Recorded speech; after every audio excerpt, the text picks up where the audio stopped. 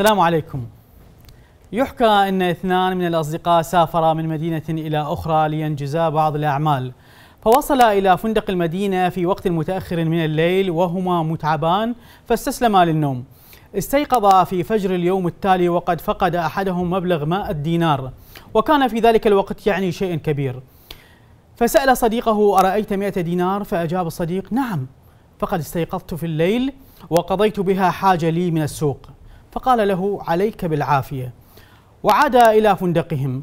قابلهم عامل النظافة بالفندق وقال لهم كنت أنظف بغرفتكم ووجدت هذه المئة من الدنانير تحت السرير. فنظر صاحب المال بتعجب إلى صديقه قائلا ألم تقل لي أنك أخذتها؟ قال لم يكن هناك غيرنا بالغرفة ولو قلت إنني لم آخذها لاختلفنا ودخل بيننا الشيطان. لذا فضلت أن أدفعها من جيبي ولا نخسر أخوتنا وصداقتنا من أجل المال. اختاروا أصدقاءكم بعناية. الصديق هو الذي يستر ويحمي ويدافع وينصح ويأخذ سهام الحياة معك في صدره وهو ممسك بيدك إلى الأخبار.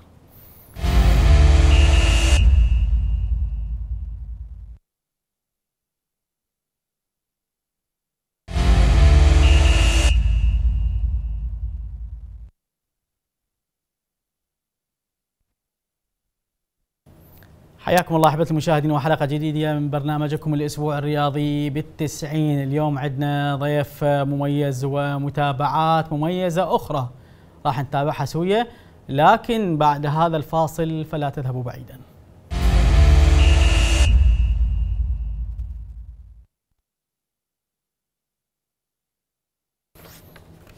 أهلا بكم مرة أخرى أحبتي المشاهدين. متابعتنا لحلقة هذا اليوم هي آه، يعني أول متابعة لحلقة هذا اليوم هي تصريح الكابتن عدنان درجال بما يخص الملاعب العراقية اللي منجزة واللي راح تنجز إن شاء الله خلال العام القادم. أعتقد آه، الوزير يعني أكد على أنه ملعب المدينة راح يكمل خلال هذا العام ومن ثم ملعب الزوراء وملعب الميناء وملعب كركوك. خلينا نشوف تصريح الكابتن عدنان درجال ومن ثم لنا عودة. هذا العام هذا العام ربما فقط ملعب المدينة. إما في العام القادم أعتقد مجموعة من الملاعب راح تكون جاهزة من من ضمنها آه، ملعب نادي الزوراء ملعب الميناء وملعب كركوك. أتمنى أيضا أن تكون قاعة أرينا آه، في المدينة الرياضية في وزارة الشباب وأيضا قاعة البولينج والمستشفى. إحنا عندنا مشكلة وحيدة إنه الآن زراعة البذور في بعض الملاعب. فيفترض أنه تبدأ خلال هذا الشهر وتستمر لمدة شهر وبالتالي تم تنظيم الأمر بين وبين لجنة المسابقات في آه، تحديد البدائل ونقل المباريات إلى المحافظات من أجل آه، استكمال هذه الملاعب حتى تكون جاهزة للموسم بكامله.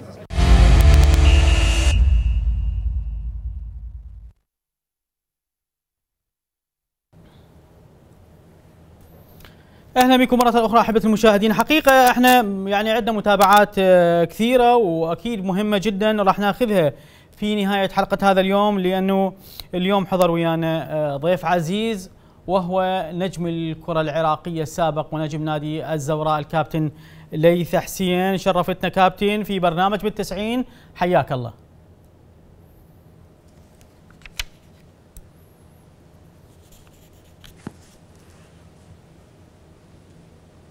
أهلا وسهلا بك ومشاهدي قناة سامراء الفضائية وإن شاء الله يا رب يكون لقاء خفيف الظل على عيون مشاهدينا.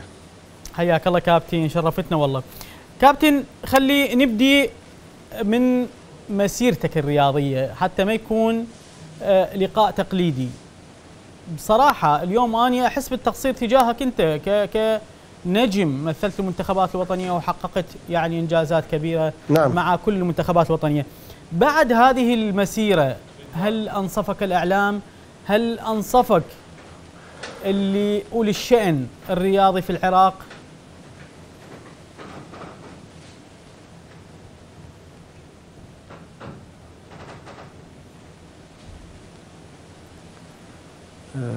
شكرا لحضرتك وشكرا لمشاهدي قناة سامراء الفضائية على إتاحتي الفرصة الحديث بهذا الوقت مع جمهوري العزيز. طبعا أكيد يعني الكل يعلم ويعرف أنه الإعلام والجمهور والصحافة وكل المعنيين بالشأن الرياضي هم مع الأسف في أوقات لم ينصفوا جميع النجوم ليس فقط ليث حسين.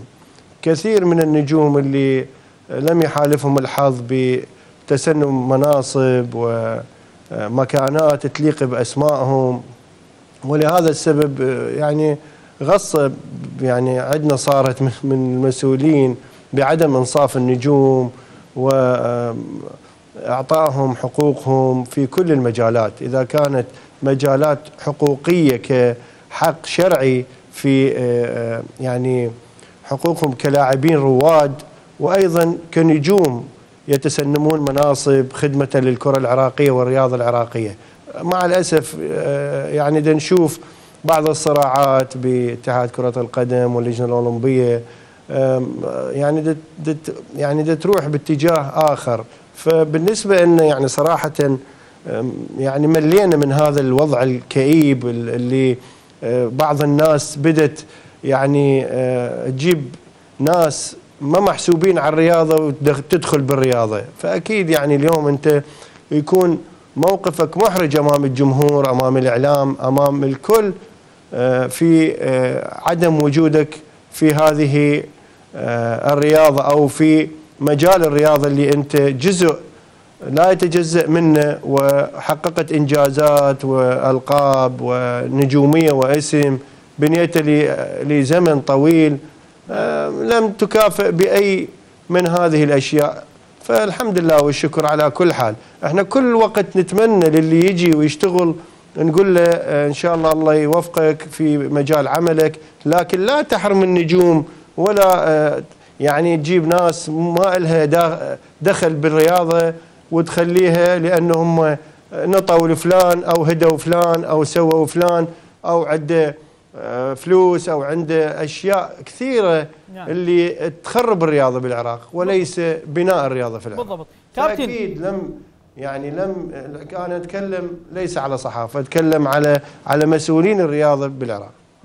كابتن اليوم اليوم شفنا مثلا آه، لجنة تطبيعية في الاتحاد العراقي معنية بمثلا زج النجوم الكبار اللي مثلوا منتخبات وطنية وأصحاب الإنجاز. يعني آه، إذابتهم في بوتقة الاتحاد للاستفادة من خبراتهم. طيب اليوم مو المفروض يكون ليث حسين من ضمن لجنة تعنى بكتابة مثلا مستقبل الكرة العراقية، لجنة خبراء أو لجنة من من من هذا القبيل نعم كابتن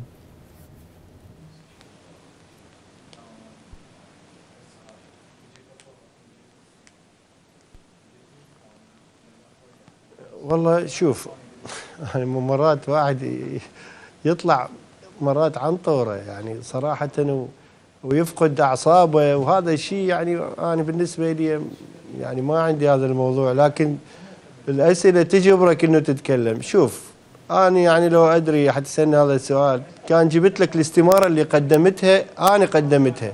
إلى اللجنة الأولمبية كخبير واللجنة القضاة السبعة المحترمين قالوا هل من المعقول إنه ليث حسين ما يكون متواجد باللجنة الأولمبية كخبير لسنين اللي مضت؟ فوافقوا على على إنه أدخل. صدق إنت لا لا شفت الاستمارة. ولا شفت أحد قال لي يابا ترى اسمك موجود. بالفيسبوك طلعوا غير اسماء آخر أيام من الانتخابات. صح ممكن تقصير من عندي. لكنه مشكلة إنه ما حد قال لك يا أخي أنت ترى تعال أنت مرغوب بيك. تعال ادخل اللجنه الأولمبية. تعال أنت كخبير واسم اسم اسمك حالك حال المتواجدين باللجنة الأولمبية الأسماء الكبيرة المتواجدة كنجوم وكألقاب.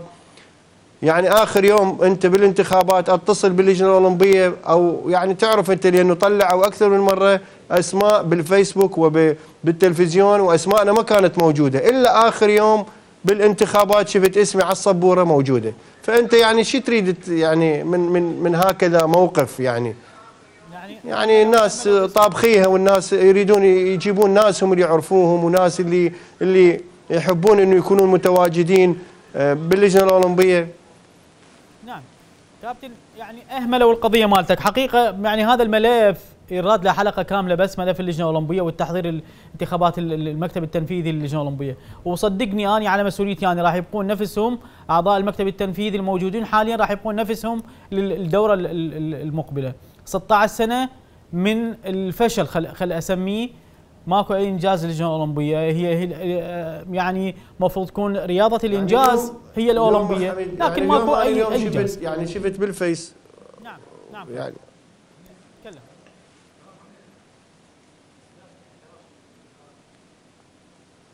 اكو اسماء اليوم تم استبعادها يعني. انت اليوم يعني أنا ما اعرف يعني.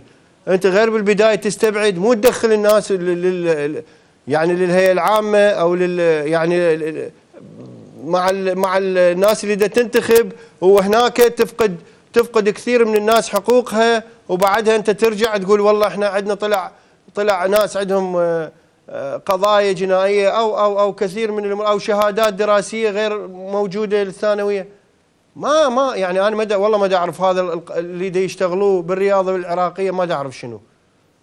طيب اليوم غير أنت يعني تطلع الناس تغربلهم تشوف ناسهم شنو اللي القضايا اللي عليهم شنو. مو أنت بعد أوكي هسه نقول يعني هذا يعني مثل العركة هي. هي عركة صايرة إحنا بالانتخابات غير. كل من يتعارك كل من يريد إله أنا ما أعرف وين صار لهم من 2003 ولليوم شنو الإنجاز اللي سووه ما افتهم أنا ما أعرف. فعلا والله صحيح. ويبعدون الناس الزينة والناس اللي تقدم والناس اللي عندها اسم والناس اللي قدمت للكرة العراقية. يعني ما افتهم أنا والله ما أعرف. بس لو يقولون لنا يابا ترى إحنا ما حد يجي لا نجم لا أحد يعني مثلا على مختصره على بعض النجوم. خاطر نفهم يعني نروح كل من يقعد ببيته وين وين دعاة الإصلاح اللي اللي صدعوا رؤوسنا بالإصلاح والقضاء على الفساد وما أدري شنو؟ شو شو صاروا؟ يعني من ضمن المنظومة منظومة اللجنة الأولمبية وراح يدخلون دخلوا للمكتب التنفيذي أصلا. يعني مجرد تحصيل حاصل. خويا هذا الإصلاح كذبة. خويا خويا. هاي أستاذ أستاذ هاي هاي كذبة. كذبة هذا الإصلاح كذبة. يعني إحنا هسه ترى يعني هاي كلها يمشوها على العقول يعني البسيطة العقول اللي يعني ما نايمة. مو على الناس اللي تعرف وخبرة وتحكي وعندها صوت. اليوم العالم ترى بدأت تعرف كل شيء. شفت الانتخابات اللي قبل اشهر ما حد راح حتى الانتخابات البرلمانية. هاي بعد خلص العالم بدأت توعى. هاي كذبة هاي إلي وهاي الك ما بيها مجال. ناس قامت تقعد خلف الكواليس تطلع أسماء وتجيب أسماء ما إلها. أي دعوة بكرة القدم وبالرياضه العراقية وقامت تجي بالأماكن. إحنا ما نقدر نحكي كل الحكي. بس من من ضيمنا وقهرنا انه إنه اليوم أنت يعني نجم وتنغبون ما يخلوا لك إلك يعني ما أعرف. إن العالم أنا مرة من المرات سألت واحد قلت له يابا قال مو مو آه، جماعة الألعاب الأخرى تكره كرة القدم. فما يجيبون نجوم هواي بكرة القدم للجنة الأولمبية. وين شنو الموضوع؟ يعني ما دفتهم من اللي يكرهنا؟ من اللي ويانا؟ هي غير غير انتخابات بشفافية ونزاهة والكل ياخذ حقه. عمي ما ماكو بعد هذا الشيء طيب أنا مسؤول عن كلامي. كابتن اليوم يعني انتخابات المكتب هذا وياك وهذا نعم. كنت أنت بالضبط والله صحيح. صحيح. كل من عنده كتلة وكل من عنده جماعة وكل من عنده ناس تشتغل نعم كتل أكيد. كتل من من الآن شكلوا كتل للدخول في انتخابات المكتب التنفيذي. خلينا نتكلم عن انتخابات المكتب التنفيذي للاتحاد العراقي.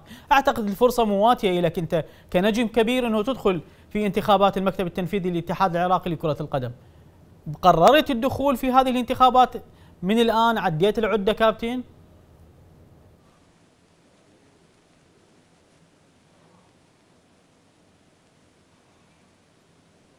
لا والله. ما أريد أدخل بعد بأي انتخابات. لأن شفناه هسه يعني صراحة بعد هو أنت غير تريد تخدم العراق. أنا ما جاي أريد منصب. يعني أنا هسه رئيس نادي ما يعني أنا بالنسبة لي ما أدور منصب باللجنة الأولمبية وباتحاد كرة القدم. بس إحنا شنو قلنا؟ قلنا أكو أكو طفرات نوعية وتتعلم آه، يعني درج شلون تصعد درج باية باية. اليوم رئيس نادي باكر بالمكتب التنفيذي بعدها باتحاد كرة القدم وهكذا.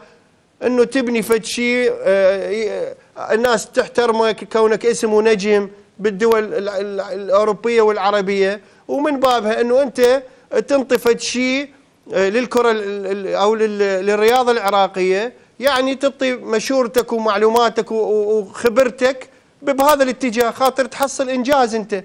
في كرة القدم أو بالساحة والميدان والق... هو الرياضه علم الرياضة.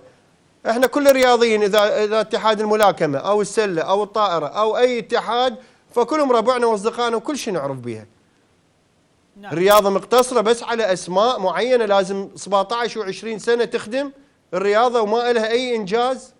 ما صايرة هاي ما صايرة. أنا والله مدى يعني ده يعني لا اتحاد كرة القدم يعني خلونا ندخل لا اللجنة الأولمبية خلوك تدخل. لا يعني ما والله. طيب إن الله الحمد لله على كل حال. خليهم بلكة الله. إن شاء الله يوفقهم ويسوون إنجاز بهالأربع سنين. أنا ما أريد أثيرك أكثر بما يخص الرياضة العراقية وكرة القدم على وجه الخصوص لأنه أنا أعرف كل الدرابين مالتها وشون تدار حاليا. كابتن خلي خلي أخذك لاتجاه آخر قبل أنه نتحول للمحور الآخر في حلقة اليوم. أنت يمكن اللاعب الوحيد أو ثاني لاعب آه، يتم مفاتحته للعب في نادي برشلونة. خلي شوي نتحدث عن هذا الموضوع لأنه جيل اليوم ما يعرف هاي المعلومة.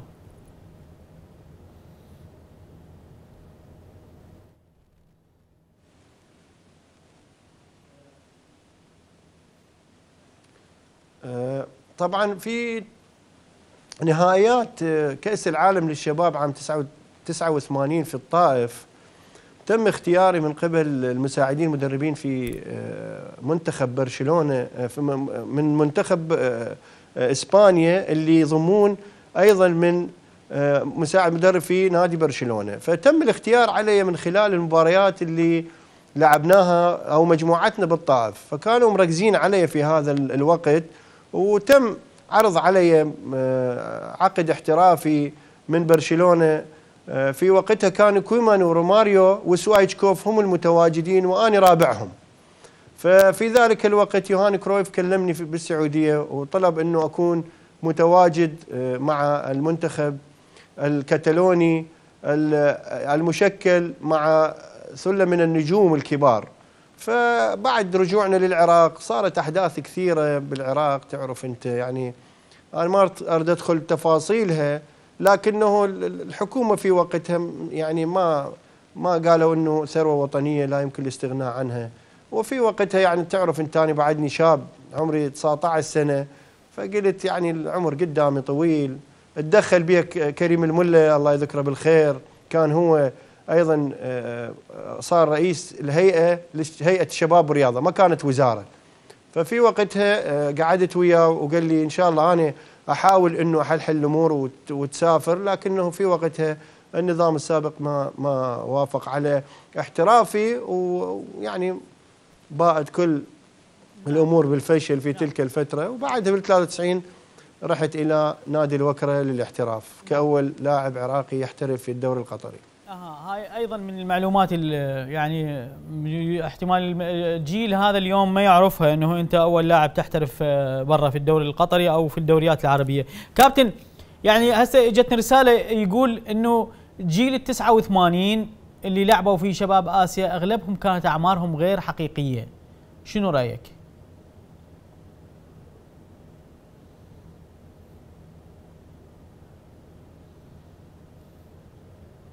لا مو يعني شوف أنا أنا خل أنا أكون صادق في هذا الموضوع. شوف أغلب الدول الخليجية وإحنا بالعراق ما كان ما كان هناك تغيير بالأعمار يعني هو يعني مرات تصير أنت شوف أنا بال 85 بهذا عمري رحت نلعب ببطولة تصفيات شباب آسيا.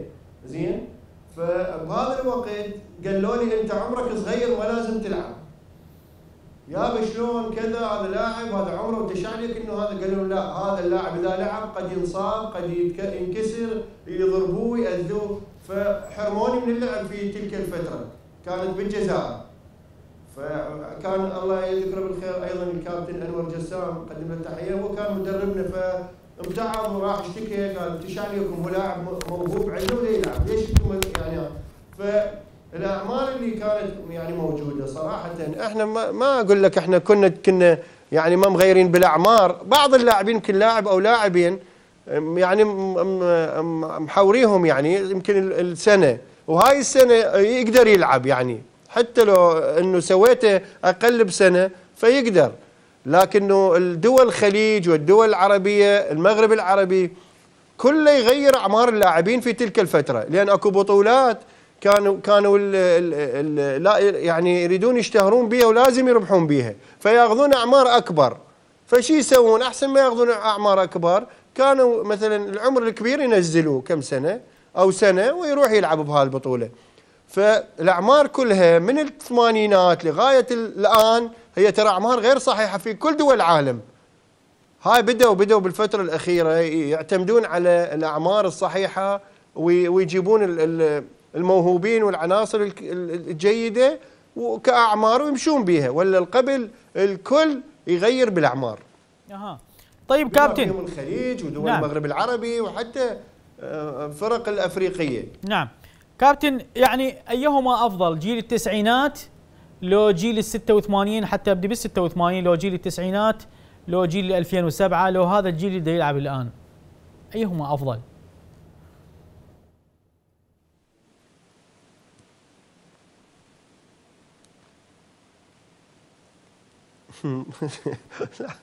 شوف هو هو مرات يعني انت تحرجني من كل كل زمان رجال.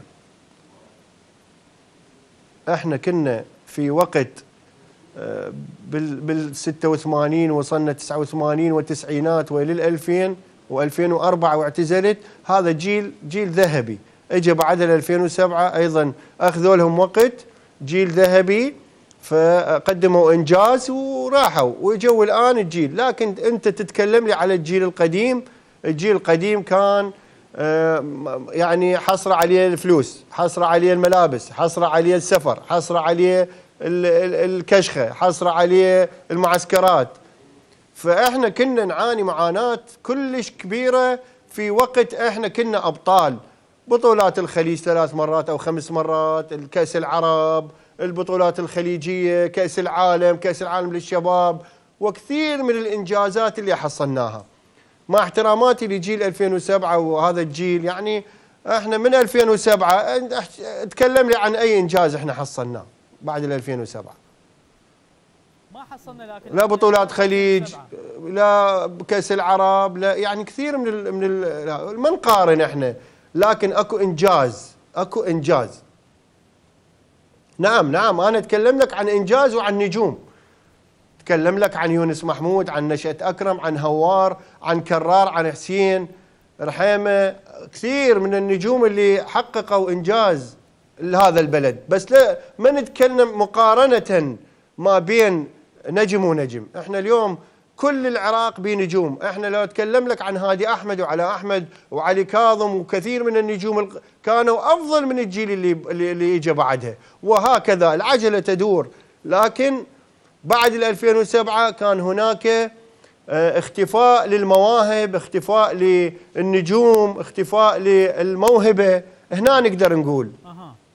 لكن كإنجاز إنجاز 2007 يحسب لنجوم 2007 لكن آه، الموهبة اختفت الأشياء أمور كثيرة اختفت. ولو كان في السابق هناك ال social media لا كان إحنا كل واحد ملايين الدولارات بالاحتراف الخارجي. نعم. كابتن يعني خلي خلي أبتعد عن هاي الجزئية. خل أسألك عن ابتعادك القسري عن بيتك الثاني اللي هو نادي الزوراء. من هو السبب؟ من كان السبب في إبعادك بطريقة معينة عن بيتك الثاني اللي هو نادي الزوراء؟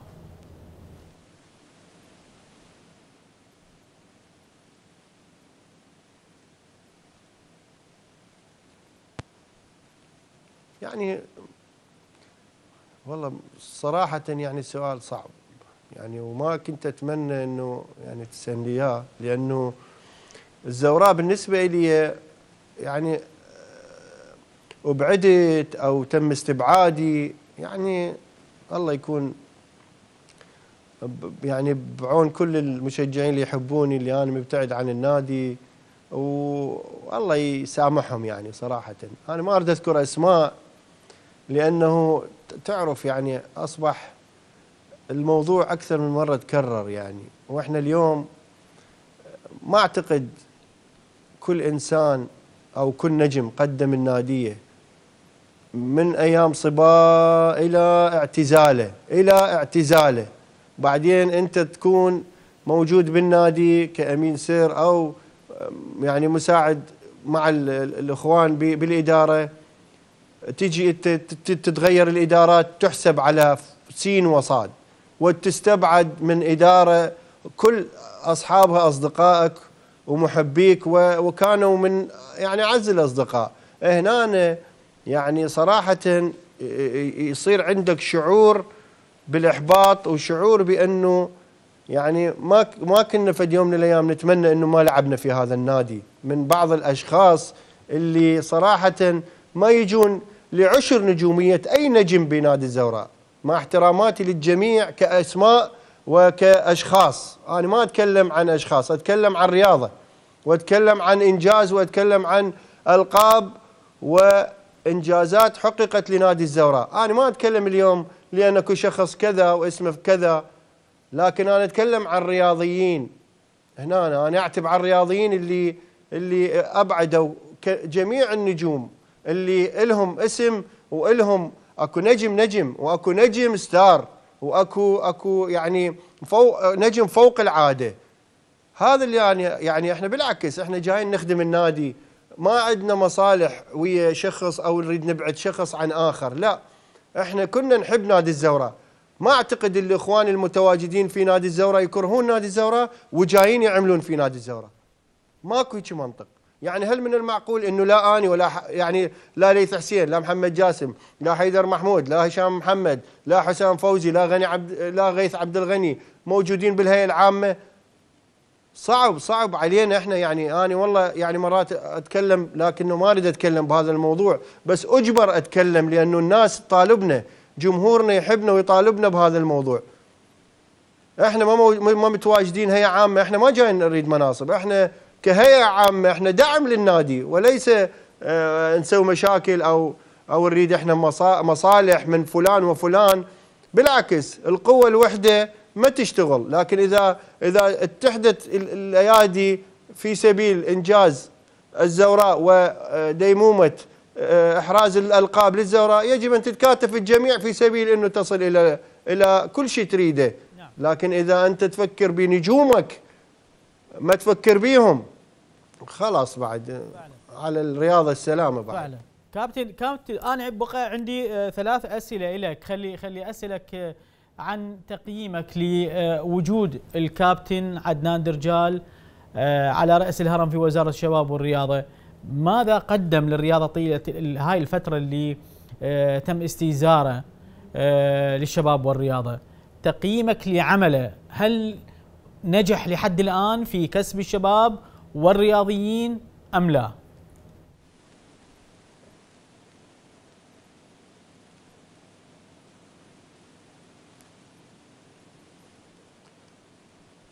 شهادتي بكابتن عدنان درجال مجروحة لأنه أول شيء زميلي وثاني شيء الرجل اللي دربني واللي دائما أنا متواصل معه.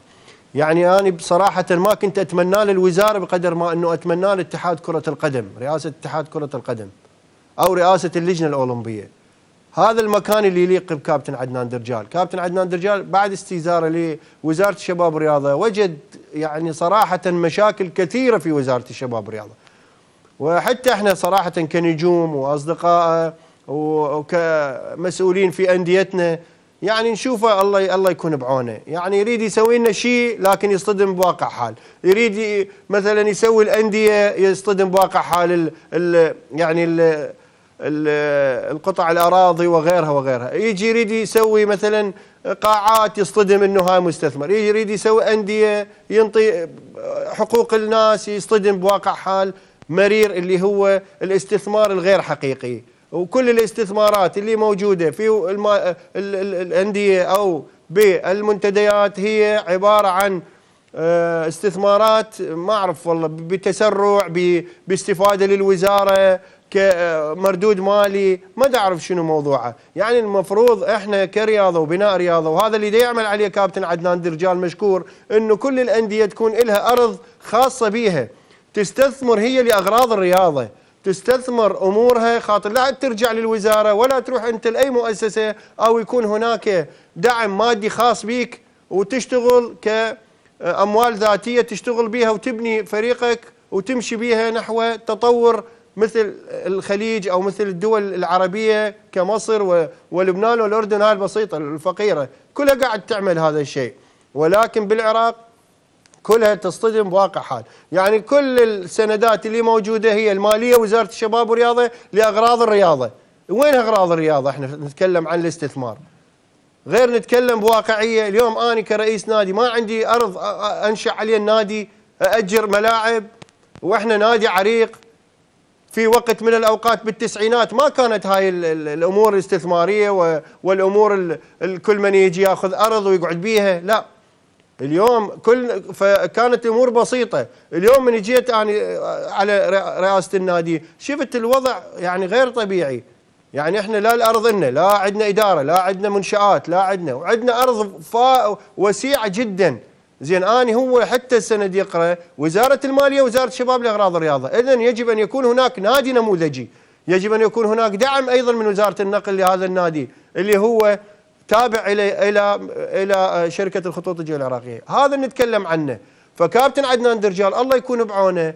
يعني يريد يسوي أشياء كثيرة لكنه نصطدم بواقع حال اللي سبقهم للوزراء وراحت راح يعني الأمور كلها راحت وضاعت كثير من المشاكل. وين ما يروح؟ الكاظمية الاعظميه الفاروق إحنا المنتدى العامرية المحمودية. كثير كثير من من المعوقات اللي ما تقدر تخليه يشتغل. ولهذا السبب يراد له سبع سنين دا يطلع هاي الإجراءات ويشتغل عليها. لكن أعتقد كابتن عدنان الدرجال قادر إنه يمضي بنجاح في هذه الوزارة وان شاء الله نتمنى له الموفقية وإن شاء الله نتمنى من عنده أيضا سعة صدره لأنه مشاكل كثيرة. لكن هو يعني نتمنى منه إنه ينطي كل كل إنسان أو كل نادي حقه مثل ما عمل مع الكاظمية وكثير من الأندية وتواصل وياها وقدر إنه يحل كثير من المشاكل العالقة آه، مع المستثمرين أيضا والانديه البسيطة. كابتن اليوم اليوم الكل يتحدث عن عمل التطبيعية وكيفية إدارتها لملفات المنتخبات الوطنية وحتى المسابقات المحلية، كيف تقيم عمل اللجنة التطبيعية لحد الآن؟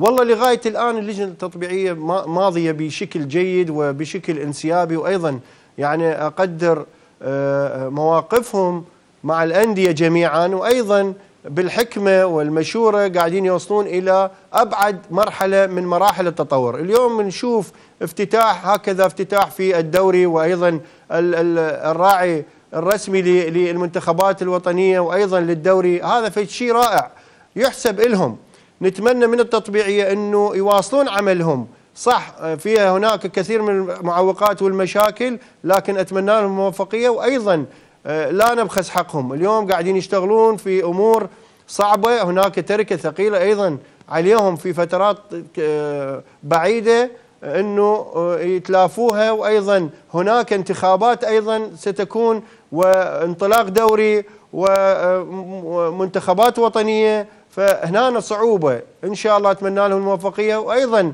آه، صراحة آه، أثني على عملهم. آه، وإن شاء الله نتمنى لهم الموفقية في الوقت القريب. وإن شاء الله يفوتون أيضا بالتصفيات ويقيمون الانتخابات في وقتها المحدد. إن شاء الله. كابتن خلينا نتحدث عن صورة المنتخب الوطني اللي اللي يستعد للتصفيات الآسيوية. صورة المنتخب الوطني كيف تشوفها؟ مع كاتانيتش كيف تشوفها؟ نعم كابتن.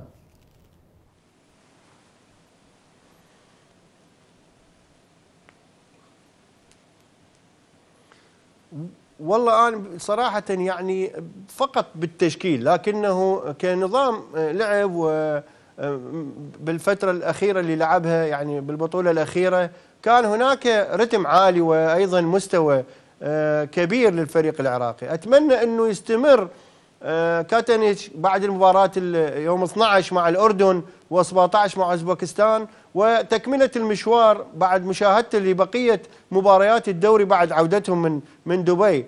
إن شاء الله أتمنى لهم الموفقية. كاتنيتش من المدربين الهادئين والمدربين الجيدين. إن شاء الله نتمنى له الموفقية مع المنتخب الوطني في هذه الفترة لكن أتمنى من يعني وهذا إحنا كمتابعين أتمنى إنه يعيد النظر بالتشكيلة لأن هناك كثير من اللاعبين اللي يستحقون إنه يلعبون مع المنتخبات الوطنية في هذه الفترة.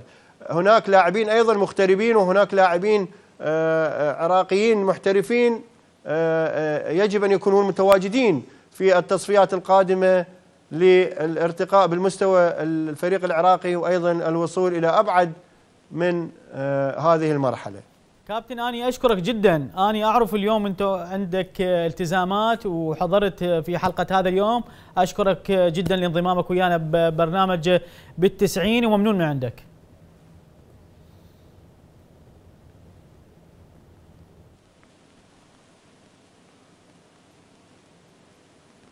شكرا جزيلا لحضرتك وكل العاملين في القناة وشكرا للجمهور العراقي وإن شاء الله نكون نكون كنا خفيفين الظل عليكم. شكرا جزيلا لحضرتك. شكرا جزيلا لك. إذا أحبة المشاهدين خلينا نروح لهذا الفاصل ومن ثم نعود لاستكمال حلقة هذا اليوم بالمتابعات.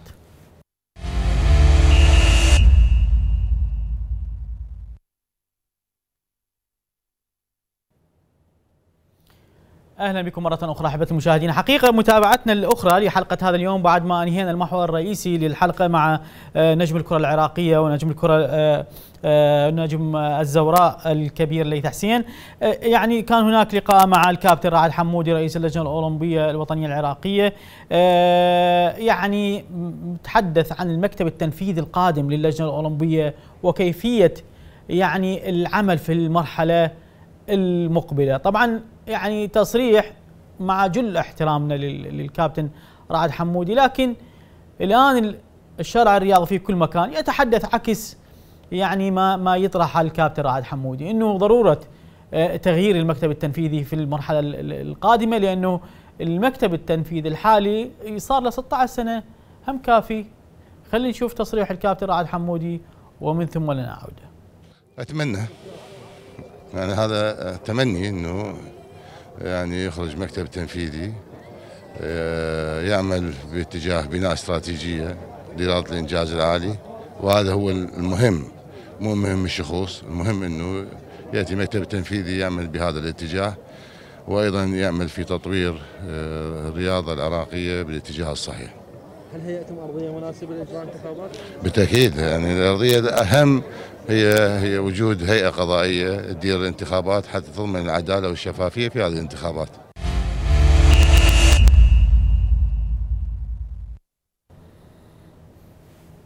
إذا أحبة المشاهدين أيضا تصريح للكابتن فلاح حسن اللي تحدث آه، عن طموحات فريق نادي الزوراء في هذا الموسم وقال إنه طموحنا الظفر بلقب الدوري والكيس أو أحد اللقبين. خلينا نشوف.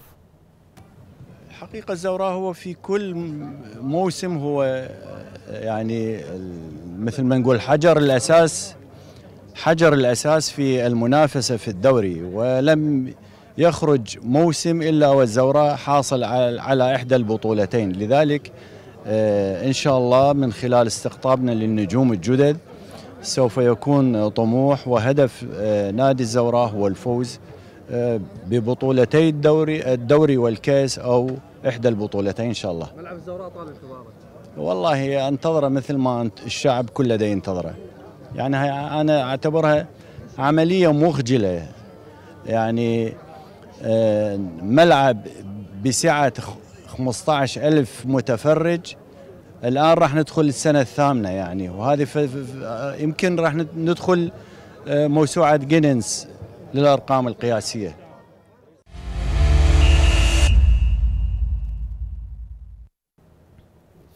وأيضا هناك استطلاع عن المنتخب الوطني واستعداداته للتصفيات الآسيوية المزدوجة المؤهلة إلى كأس العالم 22 في قطر و نهائيات كأس آسيا في الصين 2023 خلينا نشوف. والله هو الفق... الإعداد فقير مثل العراق يعني ماكو ماكو اختلاف لأنه هذا منتخب العراق وإحنا العراق. يعني أنا أستغرب كيف إنه آه، لجنة تطبيعية تترك مدرب منتخب لأكثر من ثمانية أشهر بدون ما تناقش. يعني لو أني صاحب رأي أو مسؤول كان خليت له هنا شقة داخل بغداد داخل العراق. يبقى هنا يعني ما ممكن المرض نفسه هو. لكن مشكلتنا إحنا آه، ما عندنا منهجية آه، في في العمل الرياضي ما عندنا تطوير في العمل الرياضي. لذلك تشوف المدرب على قولتنا بين قوسين على خرذنا فلذلك عادي يعني أنت أنت في العراق لا تستغرب. هناك تحضير المنتخب الوطني هناك تواصل مع المدرب آه، كتنيتش هناك مباراتين سيخوضها المنتخب الوطني مع عمان إذا اعتذروا رسميا فالبديل موجود هو المنتخب الأردني ثم مباراة أمام أوزبكستان. آه، المهم بأنه سينطلق الدوري وبالتالي انطلاق الدوري يساهم مساهمة كبيرة في ارتفاع مخزون اللياقة البدنية للاعبين مع رؤية كتنش للمباريات. جائحة كورونا أثرت على كل المنطقة وإحنا لو نشاهد المباراة الودية اللي بدأت لفرق المنطقة تعثرت وأيضا بداية ألقت بظلالها على هاي المنتخبات. الوضع العام للقارة الآسيوية والقارة العربية متشابه وجميع الظروف تمر بنفس الأمر وبالتالي هناك فسحة لمواصلة منتخبنا تصدر المجموعة والانتقال إلى الدور الثاني. يجب أن يعمل الجميع على انطلاقة الدوري لأنه ممكن الدوري راح يكون متنفس لشريحة واسعة من الشعب العراقي اللي هو الجماهير.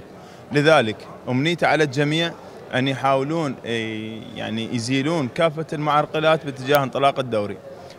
يعني هناك حديث من هنا وهناك إنه ممكن انطلاقة الدوري ستعرقل ب آه، يعني ذكرى انطلاق مظاهرات آه، تشرين. لذلك أنا رسالتي أقول رسالة المتظاهرين من الطالبين بالإصلاح هم ليس ضد النشاط الرياضي أو النشاط الاجتماعي.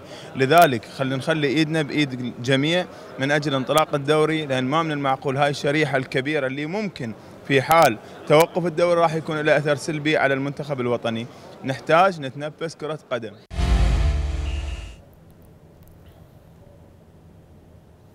وإلى البصرة أحبة المشاهدين واستعدادات نادي الكفل لدور الدرجة الأولى وأيضا بطولة الكأس. خلينا نشوف تقرير الزميل ماجد الصقر.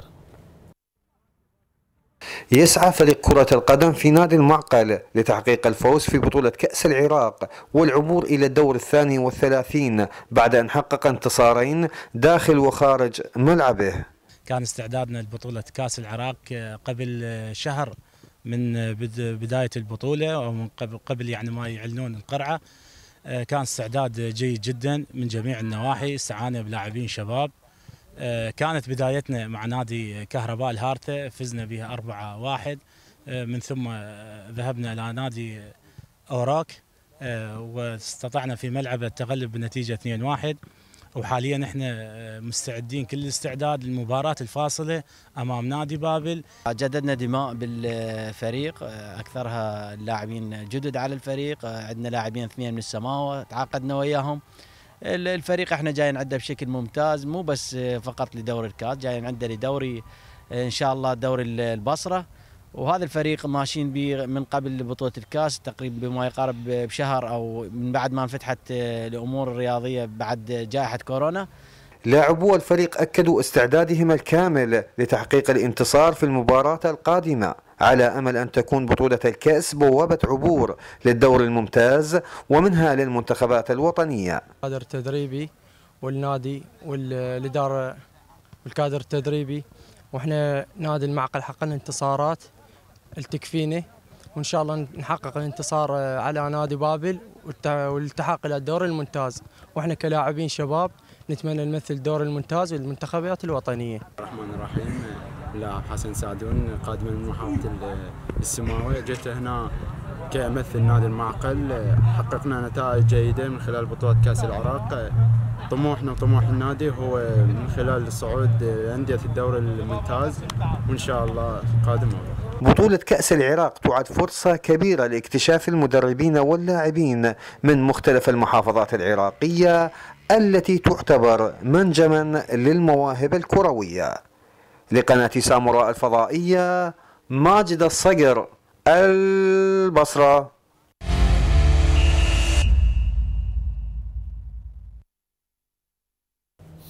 ومن البصرة إلى بغداد حيث جرت انتخابات نادي جنوب بغداد. خلينا نشوف هذه اللقطات ومن ثم لنا عودة.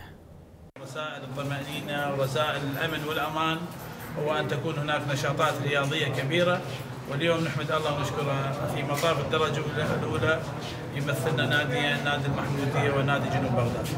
نادي جنوب بغداد اليوم آه تمت انتخابات آه الهيئة الإدارية للنادي ورئاسة النادي والنائب وأمانة السر وأمين المالي آه بمنتهى الشفافية وبمنتهى آه حقيقة السلاسة وبحضور الهيئة العامة بالإضافة إلى الإدارة في لطيفية. وإن شاء الله نتمنى لهذا النادي مزيد من التقدم والرفعة والنجاح وهو يخوض غمار منافسة كبيرة على مستوى العراق. هي منافسة الدوري العراقي الدرجة الأولى. حقيقة إحنا كلنا دعم لهذا النادي. راح نقف معه بقوة. راح يكون معاهم تواصل كبير لأنه اليوم إحنا نحس العقل السليم في الجسم السليم. نطلب من رياضينا أن يثابرون علميا ودراسيا. نطلب من رياضينا تحقيق الإنجازات. وهذا وهذه المنطقة هي حقيقة سلة بغداد الغذائية وهذه المنطقة هي حزام بغداد الأمني ونسيج المجتمع العشائري يبعث رسالة اطمئنان لكل العراق. أتمنى الموفقية والخير للجميع وإن شاء الله جنوب بغداد والعراق إن شاء الله بكل أمن وأمان وشكرا جزيلا. شكرا سيدي.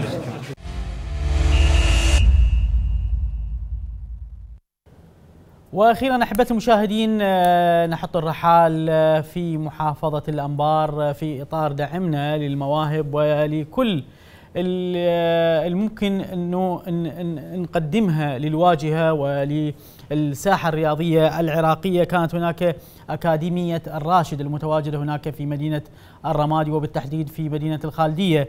طبعا هذه الأكاديمية من أفضل الأكاديميات قد تكون على مستوى القطر لأنه أقيمت على مساحة أرض أكثر من دونميا من الأرض. طبعا هذه الأكاديمية اختصت بتخريج المواهب الشابة الصغيرة عندهم الآن حارس مرمى منتخب الأشبال تخرج من هذه الأكاديمية. وأيضا حارس مرمى منتخب الناشئين تخرج من هذه الأكاديمية اللي يدربهم المدرب الكبير مدرب منتخبنا الوطني ومدرب حراس مرمى منتخبنا الوطني السابق الكابتن محمد مرزوق. طبعا هذه الأكاديمية يديرها أحد المستثمرين الرياضيين اللي أعتقد اسمه أبو شمس من نفس المدينة يسكن لكن قدم نموذج للاستثمار الرياضي في محافظة الأنبار وفي العراق. يعني هذه الأكاديمية أعتقد هي أكاديمية نموذجية.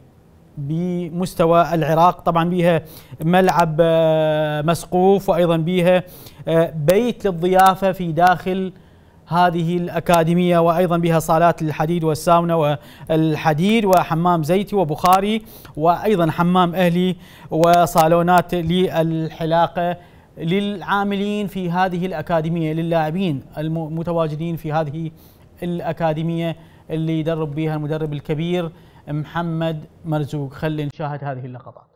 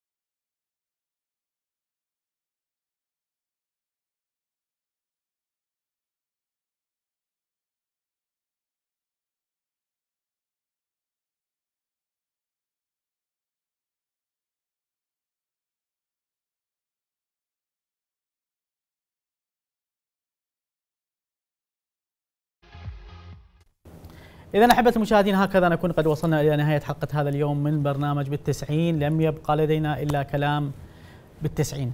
سلاما على الذين إذا عاهدوا لم يغدروا لأنهم يعرفون أن العهد كان مسؤولا. وإذا أعطوا ميثاقا لم ينقضوا لأنهم يعرفون أن الميثاقا غليظا وإذا أخذوا قلبا لم يبعثوا لأنهم يعرفون أن الله أمر أن نؤدي الأمانات إلى أهلها. سلاما على أصحاب القلب الواحد والوجه الواحد والموقف الواحد. إلى اللقاء.